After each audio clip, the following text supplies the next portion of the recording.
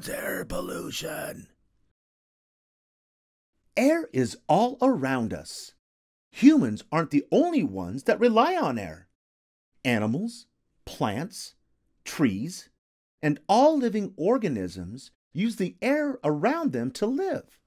Without it, none of us could survive.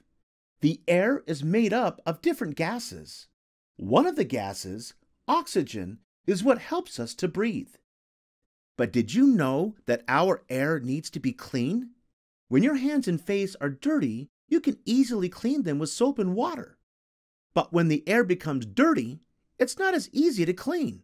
When there is dirt and other substances in the air that shouldn't be there, it's called air pollution.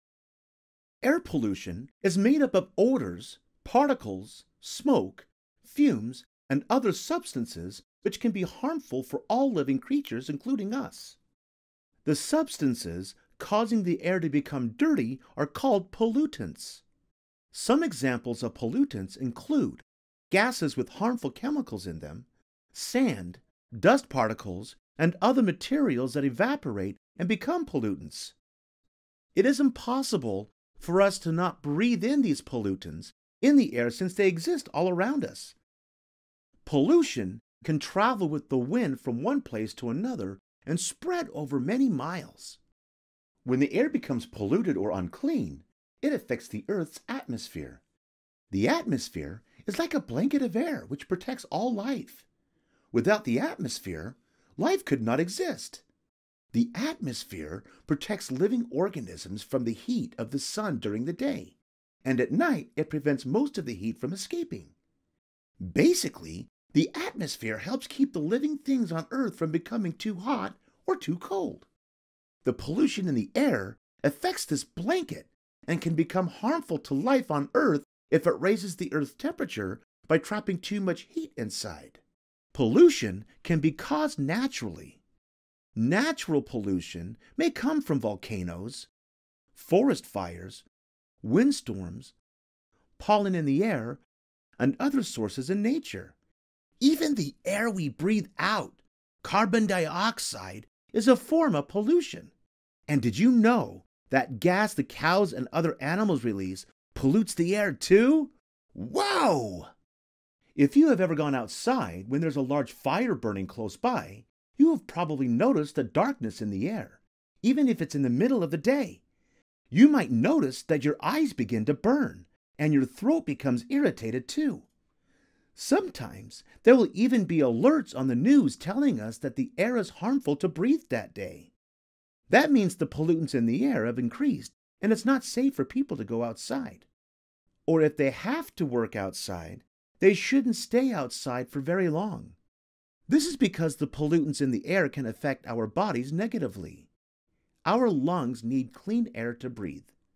When they breathe in dirty air, the dirt gets trapped in our lungs, making them dirty as well. Wind can be very helpful at those times by blowing away the dirty air. Rain and snow can wash the dirt out of the air too.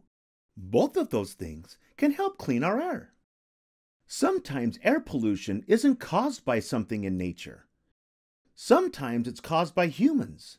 Most cars, buses, trains, and airplanes run on gasoline. People use transportation every day all over the world.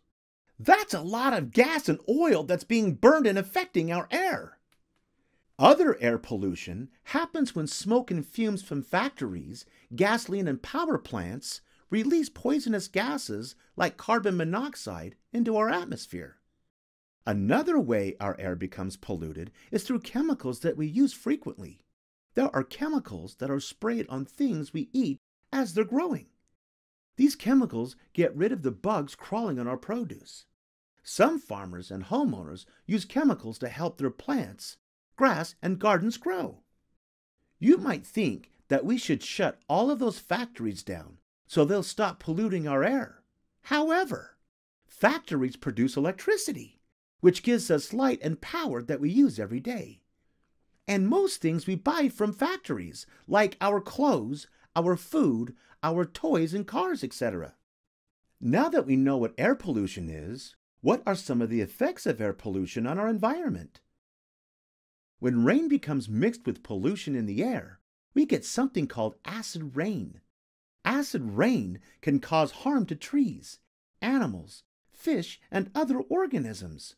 The pollutants in our air can also make it harder for crops to grow.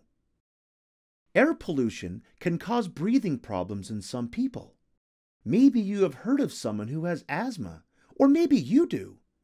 Air pollution can be a big problem for people who already struggle to breathe. It can affect our eyes, nose, and throat by causing headaches or allergic reactions. Most of those effects will go away when the air clears up, or even if you go inside. But some effects of air pollution can cause health problems for a long time, like lung cancer and heart disease. Air pollution can sound a little scary. So, how do we live in a world where there is air pollution? Maybe while watching this video, you have wondered if there was something you could do to help. Well, guess what? There is. Here is a list of things we can all do to help lessen the amount of pollution that is released into our air. We can reduce or lessen air pollution by using less electricity, like turning off the lights when you leave a room or unplugging devices that aren't in use. Recycling and reusing what we already have lessens waste and slows the production of new items. Reduce fireplace use. Carpool to work or school. Ride a bike or walk to a friend's house. Don't keep a car running while you're waiting for someone or something. Turn it off. And don't smoke. Plant a tree.